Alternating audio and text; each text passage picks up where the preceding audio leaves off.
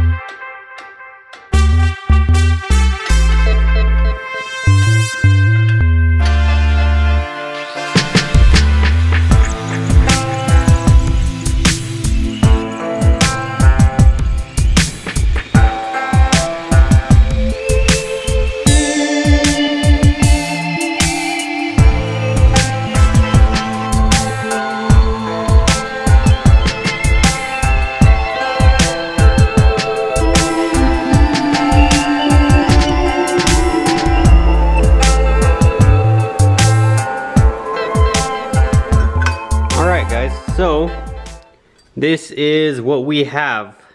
So let me just show you guys, let me break this down for you. All right, so this is our universal cross member. And basically, uh, it came with these little guys. These guys go on the tube like this. And I'm probably gonna have to cut this tube still some more. But you basically weld these little guys on the tube.